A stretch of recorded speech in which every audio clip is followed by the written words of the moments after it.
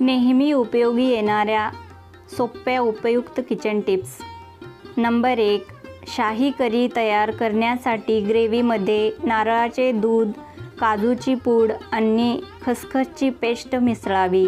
Number दोन पुरी कुरकुरीत होण्यासाठी पीठ मळताना त्यामध्ये थोडं तांदळाचे पीठ मिसळा.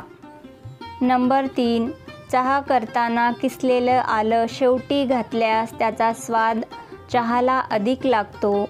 नंबर चार पुरणाच्या पोळ्या बनवताना त्या पोळपाटाला चिटकू नये. त्यासाठी तुम्ही जेवढे पुरण घेता तेवढेच भिजलेला कणकेचा गोळा घ्यावा. म्हणजे ती एकसारखी लाटून होते व लाटताना चिटकत नाही. नंबर पाच मुलांच्या शाळेच्या डब्यामध्ये सफरचंद द्यायचा असेल तर आपण या फोडी मिठाच्या पाण्यामधून बुडवून काढाव्यात. म्हणजे फोडी लाल पडत नाहीत व चवही चांगली लागते. नंबर सहा.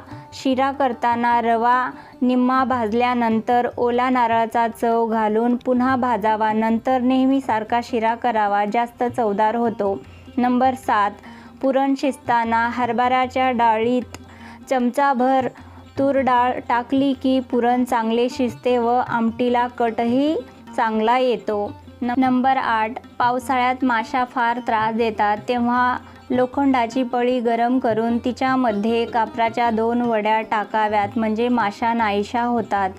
नंबर दहा दही चांगले घट्ट लागण्यासाठी कोमट दुधात दही घातल्यानंतर त्यात हिरव्या मिरच्याची तीन चार देठ टाकावी त्यामुळे दही घट्ट लागते हिरव्या मिरच्याच्या देठात एन्झाईम नावाचा घटक असतो त्यामुळे दही घट्ट होते. नंबर दहा भजी किंवा पुऱ्या तळल्यानंतर तेल काळे होते ते पुन्हा वापरता येत नाही. अशा वेळी थोडा शिजलेला भात त्या गरम तेलात घालावा. त्यामुळे तेलाचे काळे कण भाताला चिकटतात आणि तेल स्वच्छ होते.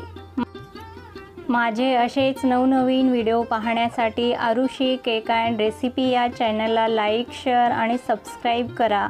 व्हिडिओ पाहिल्याबद्दल धन्यवाद.